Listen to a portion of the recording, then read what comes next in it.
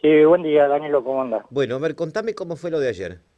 Bueno, ayer yo, como todas las mañanas, me levanto, me voy al campo a trabajar y cuando vine a la una de la tarde, veo que tenía las rejas, pero cortadas al mango. Y bueno, cuando entré, miré, me faltaba cosa. Nada, un desastre. Me hicieron toda la ropa, me tiraron toda la ropa al suelo. Un desastre, un desastre, un desastre, un desastre. Qué bárbaro.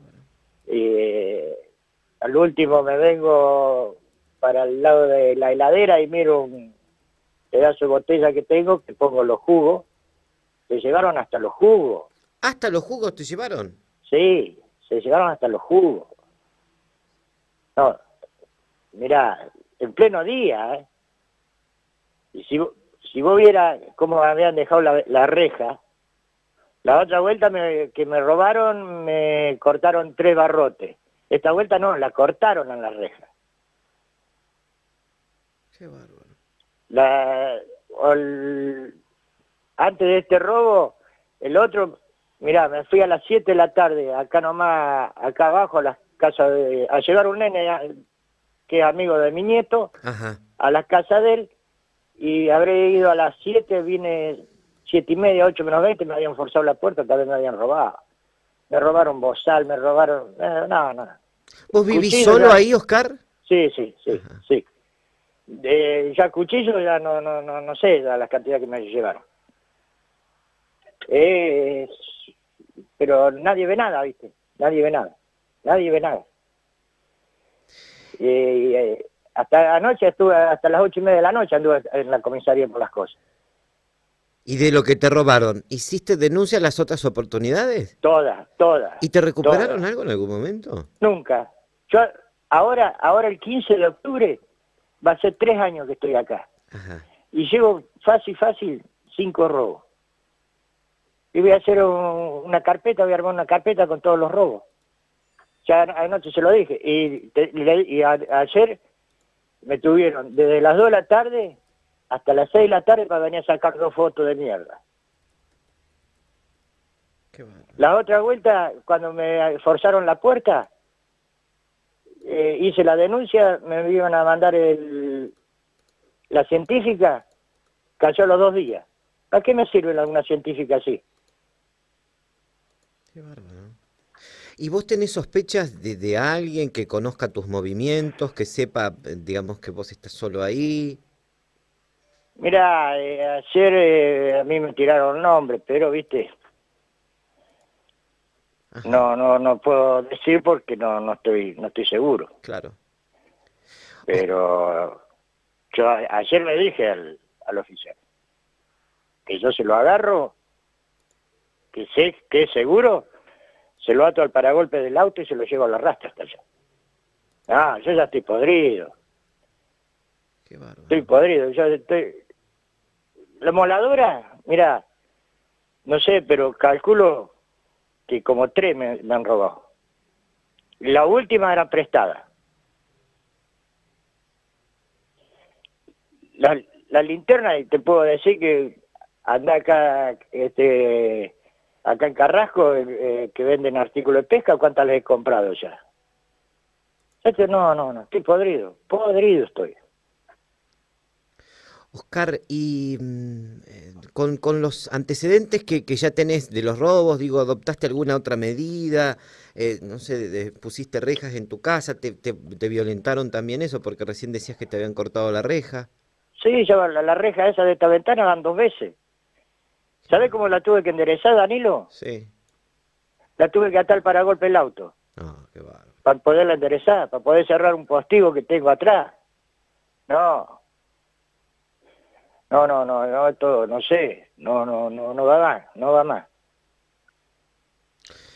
Eh, la verdad que queríamos que vos lo, lo contaras porque ayer cuando me, me ponían en conocimiento de esto, alguien me dice, pero no es la primera vez que este hombre es víctima de un robo. No, no, no, no, no es la primera vez.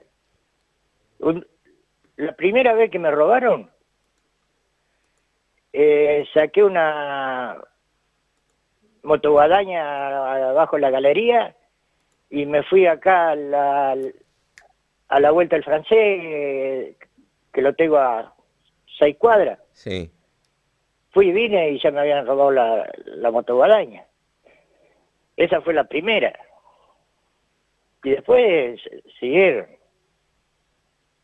No, eh, yo lo, dije hoy, eh, eh, vos ratificabas lo de los jugos recién. ¿Puede ser que hasta incluso había latas de cerveza y también te llevaron? Sí, tenía...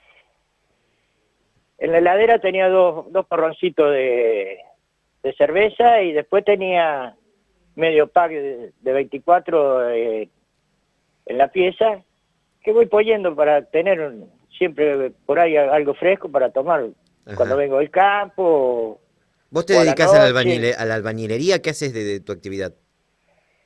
Eh, estoy de parquero en una quinta. Y, ya el, patrón ya también está, está cansado, ¿viste? Y después, aparte, te voy a decir una cosa, que fue comisario Martínez a un lugar cerca donde yo está el campo de esta gente, y dijo de que nosotros éramos prepotentes. Prepotentes, pero ¿por qué? Porque reclamamos lo que nos están robando. No, eso ya es el colmo ya. ¿Nunca pudiste hablar con, con el comisario para, para, plantearle tu situación y lo que te está pasando? Vino una sola vez acá y después nunca más lo vi. Si no te dan solución. La, la última vez que me, robaron, ¿sabes? A los cuatro días fue la, la causa a la, fiscalía, a los 15, 20 días. Y ya, es, ya esas cosas no están más donde, donde vos le decís dónde están. Así que ¿para qué? Eso ya no, no, no, no sabés más qué hacer. Te digo que ahora le voy a poner 2.20 al, al costo. Le voy a poner 2.20 que sea lo que Dios quiera. Porque ya estoy podrido.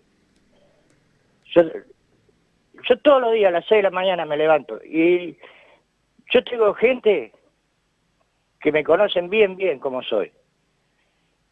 Y hay, hay gente, creo que uno es pariente tuyo que me conoces bien.